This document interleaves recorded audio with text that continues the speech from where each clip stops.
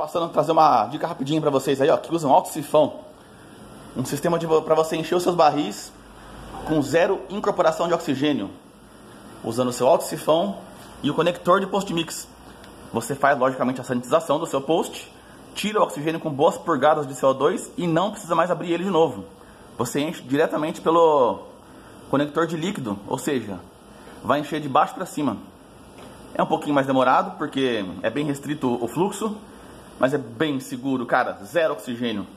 Ali eu vou usando para acompanhar enquanto ele está enchendo. Dica legal, hein? Valeu, gente!